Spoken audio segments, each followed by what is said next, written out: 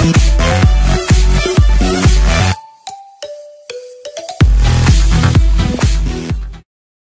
is up everyone, it's your friendly hybrid Rhinocerasaurus here, and today we are back with yet another Besiege video, and today I'm going to be showcasing one of the creations I just recently made.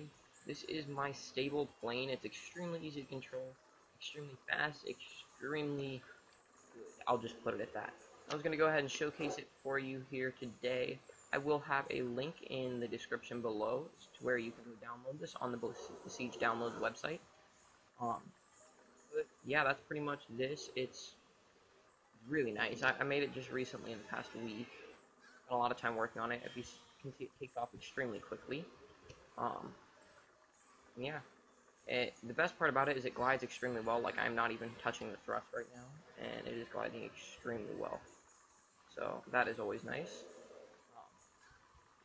Yeah, and then if you do want to go full thrust, it is extremely fast. We can, uh, here. And then yeah, it's extremely easy to control. Um, that's pretty much that, guys. I really hope you guys like this. Um, let me know in the comments below what you like about it, anything like that. If there's something you guys want me to make, let me know, and I will definitely do my best to make it.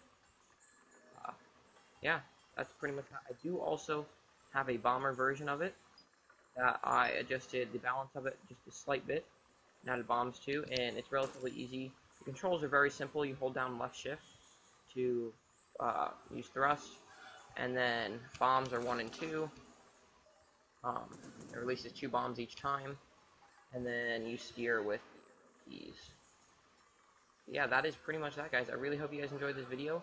Let me know what you think. Feel free to go download it at the link down below in the description. I will see you guys all later. Thanks.